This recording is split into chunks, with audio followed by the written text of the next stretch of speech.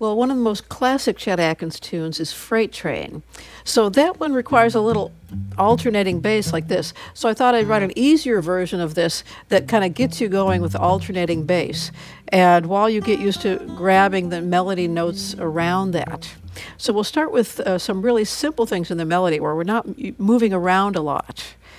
So we'll start with just plucking the second and fifth strings together and that bass is going to go back. Make sure that that ring finger on the left hand, the third finger, is alternating back and forth between the sixth and the fifth string as you go there.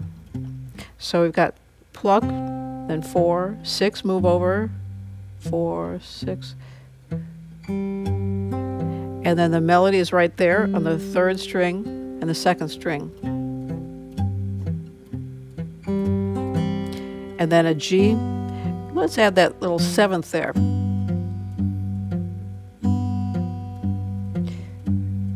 And then we can let go of it to make a regular G chord, and move the pinky over to the melody note, which is on the D, second string.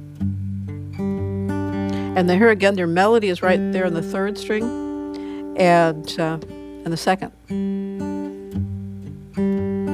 And that brings you right back to the C chord. Then your melody's on the first string. To the uh, second string and back to the first string. It's going to go to an F chord with the, the pinky down on the melody note. So you could do it either way. And then let go of everything just to walk down the melody back to C. All right, that's completely doable, right? Um, and then we'll go to the, the second part because we want to get used to doing some of the little hammer-ons. So we've got bass. That's one of those places where it hammers on, and right about the time your finger hits, then you play the fourth string with a thumb. So you you let go of that first string and then bring it back to the E chord. And here on the F6, add the pinky. Give that pinky a little wiggle.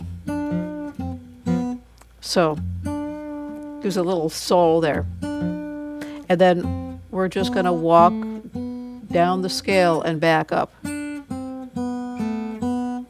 Okay, find those notes there. And the bass is just going to go back and forth between six and four. Then walk down, walk back up, back to your E. Hammer on,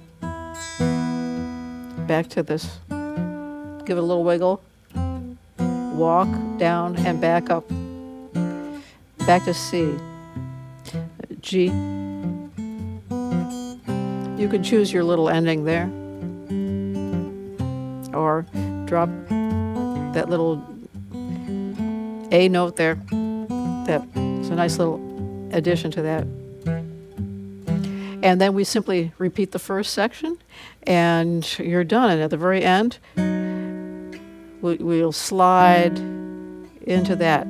That's something that you'll hear that a lot. Starting one fret below and then sliding into it ends, ends with a three finger chord. Um, and if you notice, you'll see these little three finger chords uh, scattered all over the place. So sometimes it's sweeter just to play three notes of the chord instead of the whole chord. So we're calling that Chet's train.